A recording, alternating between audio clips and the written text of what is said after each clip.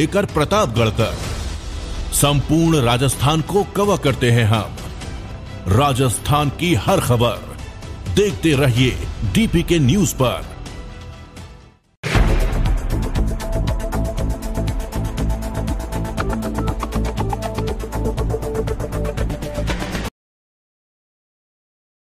नमस्कार डीपी के न्यूज़ में आप सभी का स्वागत है। मैं आपके साथ हर्ष चौधरी।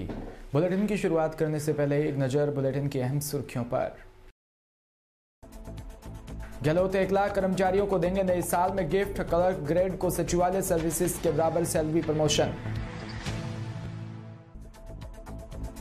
जहाजपुर में भाजपा की जन आक्रोश सभा आयोजित। राज्यसभा सांसद डॉक्टर किरोड़ी लाल मीणा ने कांग्रेस सरकार पर साधा निशाना।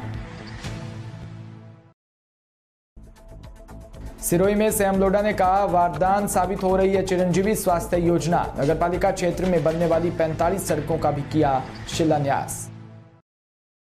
और खबरें विस्तार से। राजस्थान के सीएम अशोक गहलोत इस बार नए साल में कर्मचारियों के लिए एक बहुत बड़ा गिफ्ट देने वाले हैं। कलर ग्रेड वाले कर्मचारियों को पिछले 20 सालों से चली आ रही सबसे बड़ी मांग जल्द पूरी हो सकती है। मुख्यमंत्री प्रदेश के एक लाख से ज़्यादा क्लर्क ग्रेड वाले कर्मचारियों को सचिवालय सर्विसेज़ के बराबर वेतन और प्रमोशन देने की तैयारी में है। इसके लिए सीएम ने 28 दिसंबर को कुछ कर्मचारी नेताओं को मिलने के लिए अपने घर बुलाया था। नेताओं ने बताया कि पहली बार किसी सीएम ने औपचारिक टेबल कुर्सी की बातचीत की बजाय सभी को अपने पास सोफे पर बैठाकर बात की। इस पर मौके पर राजस्थान टूरिज़्म डेवलपमेंट कॉरपोरेशन के चेयरमैन धर्मेंद्र राठौड़ और गहलोत के प्रमुख शासन सचिव सीएमओ कुलदीप रांका भी मौजूद थे। स्टेट फाइनेंस डिपार्टमेंट ने इस डिमांड को लेकर स्टडी भी शुरू कर दी है। इस बीच प्रदेश के साढ़े सात लाख कर्मचारी और तीन लाख पेंशनर्स के विभिन्न मुद्दों पर विचार करने वाले पौरोकर्मिक सचिव खेमराज चौधरी की अध्यक्षता में गठित कमेटी ने भी सीएम गहलोत को शनिवार शाम को अपनी रिपोर्ट सौंप दी है। बांसुर में बिगड़ती यातायात व्यवस्था को लेकर स्थानीय उपजिला अस्पताल इंचार्ज भूरा सिंह बैंसला ने अपील की कि बांसुर में उपजिला अस्पताल अभी मेन बाज़ार में कार्यरत है। या मार्केट होने के कारण इधर उधर खड़े होने वाले वाहनों की वजह से आम जाम लगना आम बात हो गई। उसकी व्यवस्था को लेकर अस्पताल प्रशासन ने तो पार्किंग व्यवस्था शुरू कर दी, लेकिन मरीज़ के साथ आए परिजनों द्वारा साधनों को बाहरी, अव्यवस्थित तरीके से खड़ा कर दिया जाता है। अतः उनसे अपील है कि अपने वाहनों को पार्किंग में खड़ा करें। या कहीं सुरक्षित जगह पर व्यवस्थित तरीके से खड़ा करें जिससे मार्केट में जाम की स्थिति पैदा ना हो।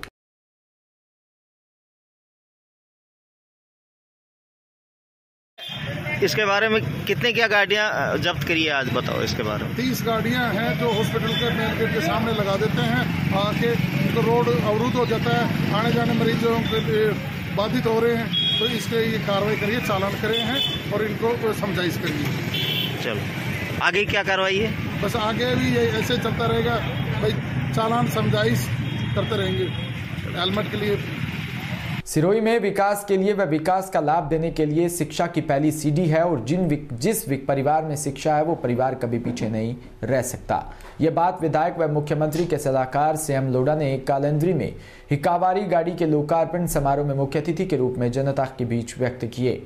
आर के ट्रस्ट बंगलुरु के चेयरमैन रमेश कुमार पी शाह ने अपने मातृभूमि में शिक्षा की अलग जगाने के लिए यह चलता फिरता मोबाइल वाहन शुरू किया है। यह प्रयास है कि इस गाड़ी के माध्यम से हर आयु वर्ग का व्यक्ति वो सीखे जो उसकी पसंद है। शेरगढ़ के पूर्व विधायक बाबू सिंह राठौड़ महात्मा गांधी अस्पताल जाकर सभी भर्ती घायलों के कुशल शेम पूछी। राठौड़ ने बताया कि गैस त्रासदी में अब तक छोटे बड़े कुल 35 मौतें हो चुकी है, जो कि बहुत बड़ी दुग्ध है। अस्पताल में भर्ती अब सात घायल खतरे से बाहर है। राठौड़ ने अस्पताल प्रशासन को मिलकर उनकी तबियत की जानकारी ली है। जोधपुर में हर वर्ष की भांति इस वर्ष भी जोधपुर के रावणा चबूतरा मैदान में पश्चिमी राजस्थान उद्योग हस्तशिल्प मेले का आयोजन किया जाएगा। मेले की तैयारियों को लेकर आज भूमि पूजन कार्यक्रम का आयोजन किया भूमि पूजन कार्यक्रम में राज्य बाल संरक्षण आयोग के अध्यक्ष संगीता बेनीवाल, विधायक मनीषा पवार, महापौर उत्तर कुंती परिहार, विधायक सूर्यकांत व्यास, संभागीय आयुक्त कैलाश चंद मीणा जिला कलेक्टर हिमांशु गुप्ता व निदेशक सुनील परिहार सहित कई गणमान्य लोग मौजूद थे। मेला संयोजक सुनील परिहार ने बताया कि जिला उद्योग केंद्र मरुद्रा इंडस्ट्रीज़ एसोसिएशन के और जिला प्रशासन के संयुक्त तत्वाधान में रावण चबूतरा मैदान में 6 जनवरी से 15 जनवरी तक पश्चिमी राजस्थान उद्योग हस्तशिल्प मेले का आयोजन किया जा रहा है।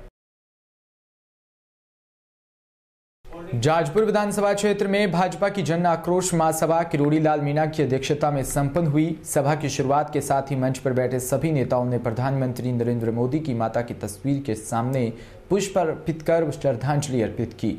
वहीं भाजपा की आयोजित जन आक्रोश सभा को संबोधित करते हुए सांसद डॉक्टर किरोड़ी लाल मीणा ने प्रदेश की कांग्रेस सरकार पर जमकर हमला बोला और कहा कि राजस्थान में कांग्रेस के कुशासन जंगलराज और भ्रष्टाचार के खिलाफ भाजपा की जन आक्रोश यात्रा को अपार जन समर्थन मिला है। कांग्रेस की जन विरोधी नीतियों से आम जनता तरस्त है। राजस्थान में पुनः सुशासन कायम करने के लिए कांग्रेस को सत्ता से बेदखल करने का हम सब संकल्प लें।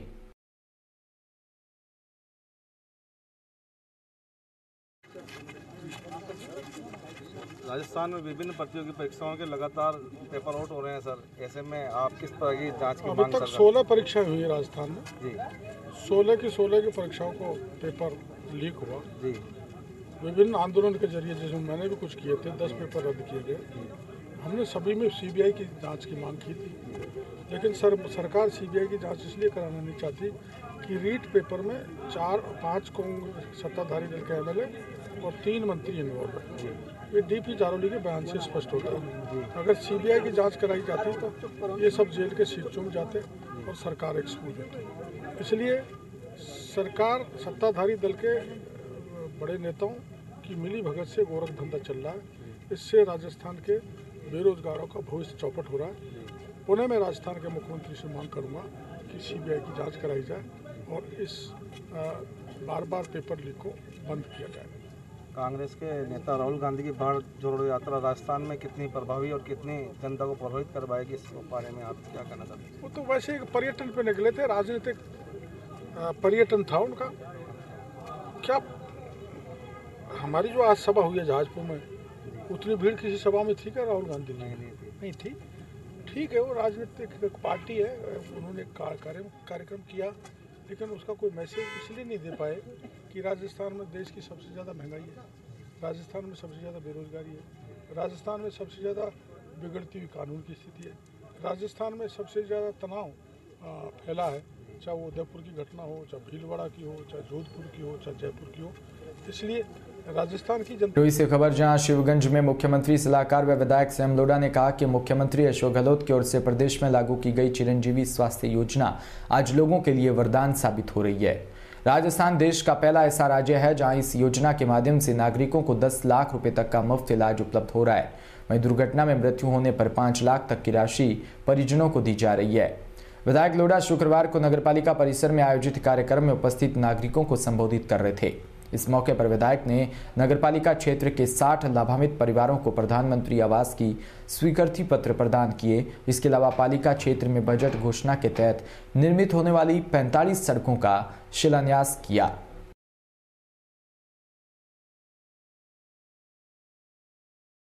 सिरोही ज़िले के रेवदर उपखंड मुख्यालय के सरेसी माता मंदिर में भारतीय जनता पार्टी द्वारा रेवदर आबू रोड विधानसभा क्षेत्र की जन आक्रोश महासभा का आयोजन किया।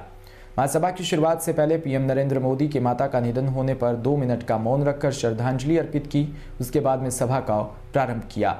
वक्ता के रूप में मौजूद भाजपा प्रदेश उपाध्यक्ष नारायण सिंह देवल ने संबोधित करते हुए राज्य की कांग्रेस सरकार को किसान विरोधी सरकार व किसानों को लूटने वाली सरकार बताई। साथ ही उन्होंने भाजपा सरकार की योजनाओं के नाम बदलकर अपनी योजनाओं को चालू करने वाली सरकार बताई है। उन्होंने कहा कि कांग्रेस सरकार जुमलेबाजी वाली है और अत्याचारी वाली सरकार है। झालावाड़ ज़िले की ग्राम पंचायत कोलवी उर्फ़ मंडी राजेंद्रपुर चौमेला के वार्ड नंबर 6, 8 और नौ में पानी की काफ़ी समस्या है। पानी की समस्या को दूर करने के लिए सामुदायिक भवन चौमेला में ट्यूबवेल लगी हुई है जिसके द्वारा उक्त वार्ड के सभी लोगों को पानी की सुविधा रहती है। पिछले एक महीने से ट्यूबवेल की मोटर खराब होने के कारण पीने के पानी की आपूर्ति न होने पर वार्डवासियों को काफ़ी परेशानी का सामना करना पड़ रहा है। ट्यूबवेल बंद हुआ न न पानी भी ना आवे मगर बंद पड़ी तो आप मोटर लोग उसी ट्यूबवेल पे निर्भर है क्या संजय पार्क वार्ड नंबर नौ की गली में तीन इंची पाइपलाइन डाल रखी पाँच इंची पाइपलाइन कब से मंजूर हो चुकी? सरपंच साहब ने अभी तक हमारी गली में पाइपलाइन नहीं डलवाई। और पंद्रह बीस दिन से संजय पार्क से हम पानी सप्लाई होता था पानी भरते थे। वो भी मोटर बंद कर दी और बोलते कि नलियों से पानी मत भरो तो फिर कैसे पानी भरे? बताओ आप। नल भी नहीं आते और पाँच इंची पाइपलाइन ज़रूरी है डलवानी। नहीं डलवाओगे तो हम तो एलटीएम तक शिकायत करेंगे इनकी।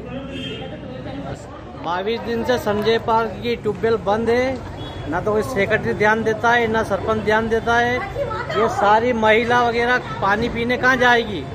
अगर ट्यूबवेल चालू होती है तो प्राइवेट टैंकर भरे जाते हैं। प्राइवेट लोगों को दिया जाता है, इन लोगों को पानी देने से इनकार कर रहा है।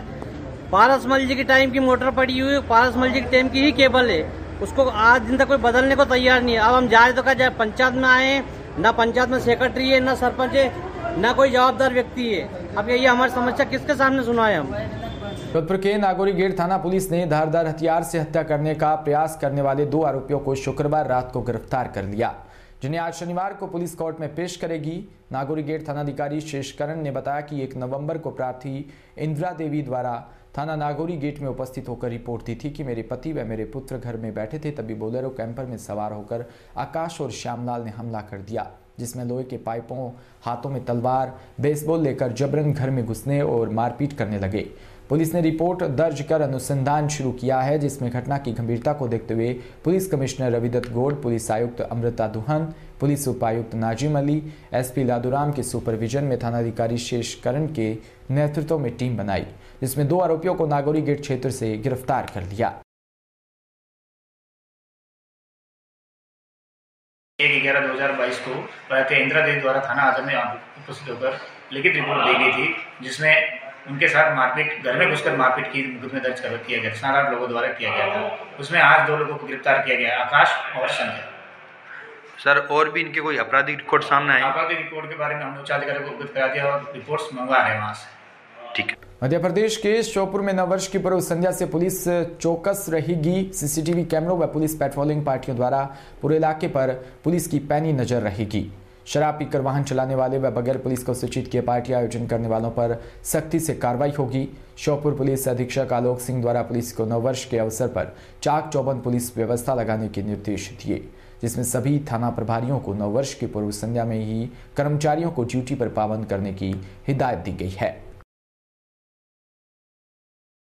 इसी के साथ बुलेटिन में इतना ही नमस्कार।